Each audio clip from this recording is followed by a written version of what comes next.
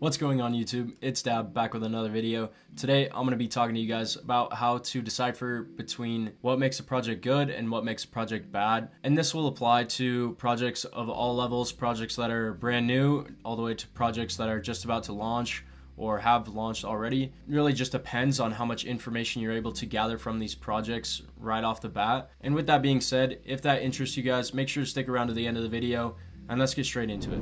Okay, so in this video, I'm gonna be using two brand new projects that I just found uh, yesterday, and I'm going to be kind of running through how I'm able to gauge these projects and uh, know if they'll be able to uh, be a decent project or if they're kind of scammy or ruggy. It's definitely something that you start to pick up on the more projects that you continue to look at. I feel like at some point you really start to just be able to gauge kind of just by peeking at projects like if they're to do uh, good or not. Sometimes, obviously, you'll miss some or something along those lines. But uh, so for this project in particular, I'm going to be looking at Mysterious World. This project just made their first tweet on May 2nd, and it was super cool art.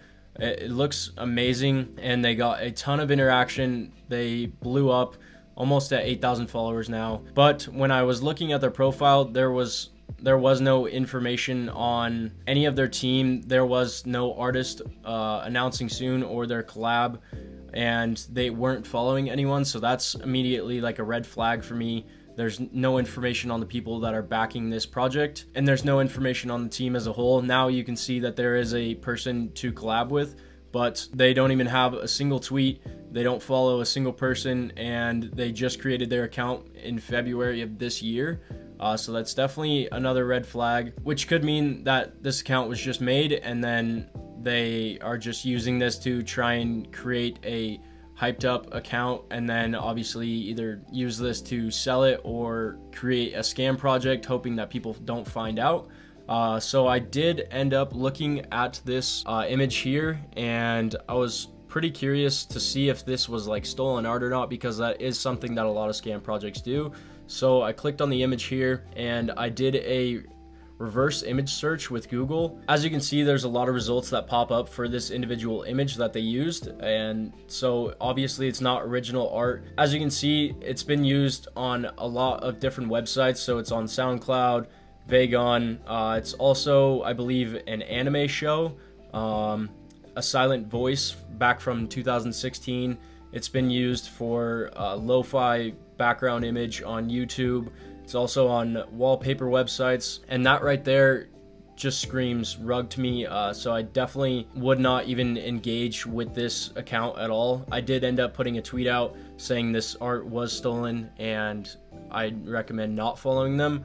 Uh, and then as you can see, they did put out another tweet and it looks like they tried to copy the same exact uh, image almost, but just turned it, and you can see the difference of quality in between these two pieces of art. Uh, this is a lot more trash, in my opinion. Um, this art is just looks nowhere near as professional as what this is. Or obviously they got caught red-handed and knew that this was stolen art, so then they tried to change it in their, into their own, uh, which doesn't really look very good for a project. So I would highly recommend uh, definitely looking into uh, that it only takes about 10 seconds to do a quick reverse image search. If a project's artwork looks too good to be true, you can do a quick reverse image search and immediately be able to tell if the artwork is stolen or not. Google doesn't lie. Uh, if there's other sources for this image itself, then I would highly recommend staying away. You can look into a couple of the links. Sometimes it'll be stolen from like Behance, which is artist personal accounts, and if you look into their account, a lot of them will say, I don't do NFT projects or anything like that. And then right from there, you can tell. Also, there is a few Twitter accounts that do uh, share rug pulls and such like that. So you can keep an eye on those profiles as well and see if these projects end up popping up on that page and then you'll know for sure if it's uh, stolen or not. And a good example of a project that is still super early on, they only have one tweet so far, and this came out yesterday as well. Uh, it's just like a little sneak peek, but when you look at the profile, you can see that there is someone being followed by the profile, and it happens to be the artist of the project itself and they do have links to their OpenSea, their Instagram, their foundation, and it says they are the creator of the orange project, uh, which is good to see that there is a name behind it. And they've been in the space or at least on Twitter since August of 2021 which is really good to see that that's not a completely new account. And you can go ahead and look through all of their uh, previous work and be able to tell that this art isn't stolen. This is obviously the creator of the artwork. It replicates pretty much exactly what the uh, project's Twitter was promoting uh, artwork which looks almost exactly like this. And so you can kind of expect that this project is going to have artwork of some sorts along the lines of these types of sneak peeks. And definitely something that is really good to see that the project does have an artist behind it and the creator is known uh, at least a little bit and they do have like experience and links and all of that type of stuff so moving on to uh, another project that's a little bit more established and does have a solid team behind it. I have talked about this project in a previous video of mine. If you guys haven't seen that, I'll link it right up here and you guys can go check that out real quick if you'd like. But talking about this project, so you can see that they do have like a website and you can go ahead and look at the team's track record behind this project. You can see all about their project and and a quick checklist that I would go over is looking at their engagement on Twitter so you can see that they have 13.8 thousand followers right now and they do get a pretty solid amount of engagement. There's not really bots just running up their posts uh, which is really good and you can kind of tell that it's quite the consistent amount of engagement per post uh, which is usually good to see that there's not like a ton of just huge numbers um, and only like a small amount of comments compared to like 10,000 retweets and 10,000 likes and only say 3,000 comments or something like that.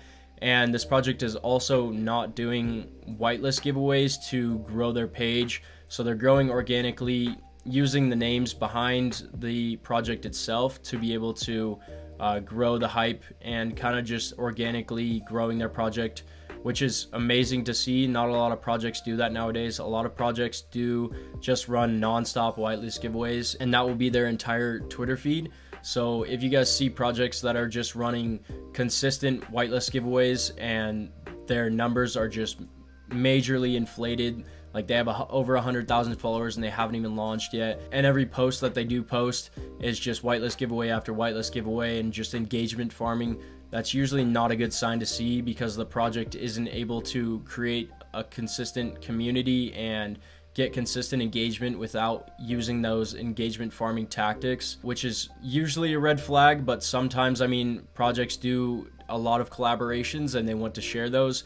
Uh, so it depends on the level of collaborations. Like if they're collaborating with very well known projects that have already had successful launches, that's a good sign to see that uh, projects are bullish on them and they are partnering with them before their launch so they have faith that the project will be successful or at least do decently enough to partner up with them and put their name of their project behind the other project that's about to launch. As I was saying, like a lot of whitelist giveaways and engagement farming is not a good sign to see and usually it just leads to almost a failed project in my opinion like the projects will not last very long. The people behind the project may not have much experience and so they're just using all of these engagement farming tactics to be able to grow a project and be able to sell it out or at least get some money from the project from using all of those partnerships to blow their Twitter page and Discord page up. And a couple other things I would be looking for is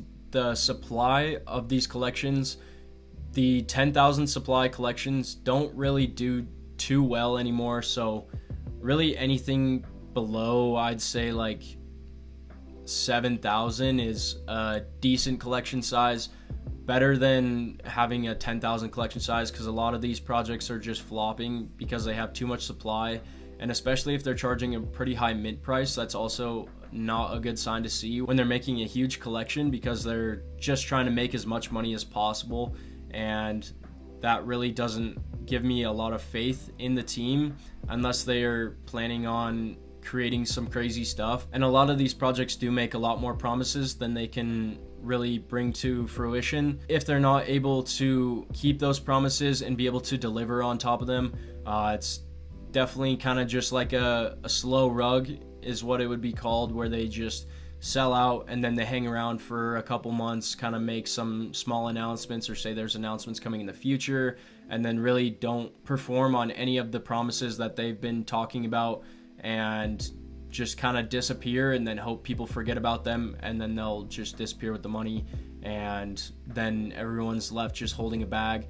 So it's definitely something to keep in mind. You can go inside of these projects discords. You can see how lively the chat is. You can see how active the people are in there. If there's real genuine conversations going on inside of it, or you can tell the difference between a real human inside of a chat and a bot. If there's a lot of bots inside the chat, it's usually not a good sign to see because obviously the project doesn't care enough to ban those bots or make sure that they don't get into their chats and just consistently allow them to continue to chat inside of their chats to make it look like it's more active, even though it's really not. It's just like a load of bots. Uh, so, definitely another thing to keep in mind and just being able to gauge what is real engagement versus fake engagement is huge. Also, I did see a tweet from Popeye earlier, and giveaways are getting heavily botted. Uh, and some of these projects will be botting themselves, and some of these projects don't really have the choice. People will just bot their giveaways, and it's kind of an easy way to tell. So right here he posted a screenshot and it shows the difference between the comments and the retweets. So if there is almost 17,000 retweets and 17,000 likes but only 3,000 comments. And so if you do some quick math here there's about 14,000 bots or so on this individual giveaway. Obviously it doesn't show like what project this is but that's besides the point uh, it's kind of just showing like being able to gauge these numbers. And as you can also see, there's only 5,800 views. Uh, so the legitimate amount of people that have joined this is 3,290, give or take. And the rest of these engagements are just bots joining this giveaway, hoping to win a giveaway that they didn't correctly like enter, I guess. And so that's definitely something to just watch and make sure you can be able to decipher legitimate people compared to a super inflated following off of bots and seeing projects just blow up out of nowhere all because of bots. And one last slightly important thing that I do look at is who the accounts are followed by. So if they're followed by a good amount of people that I do follow, uh, that's usually a good sign. And you can go ahead and check and see like if they're followed by a couple of the big names inside of the space. And usually, when projects are followed by big names in the space, it does mean that these projects are doing something correct to where these bigger people want to follow these projects, but it does not guarantee that the project is a good project. It could just mean that these bigger names inside of the space are going to be doing whitelist giveaways for them or anything like that. So definitely don't just gauge the entire project just because there's a couple big names following the project. Uh, projects get follows all the time and they can have super inflated followings and that doesn't mean that the project is going to do great 100% of the time. So following everything that i went over previously that's pretty much my way of going about to see if a project is going to be a good project or a decent project or kind of like a scammy and ruggy project. Kind of just takes time to be able to spot these projects and know that these projects are either here to take your money and run or they're here to actually build something pretty cool. So being able to spot that uh, using that kind of checklist that I gave you guys is something that I would highly recommend doing and just start to use that for every new project that you start to see or projects that you're looking to invest into. And then you can kind of gauge for yourself and say, okay, this project looks pretty good or this project doesn't look very good based on the things that I'm seeing here, here, and here, and be able to make your own personal analysis on projects as well. And that's all I have for you guys in today's video. If you guys enjoyed this video and it was helpful, please make sure to drop a like down below. Hit that subscribe button and turn on the notification bell for future uploads. And thank you guys for watching to the end of the video. I hope you have an amazing day. Peace out.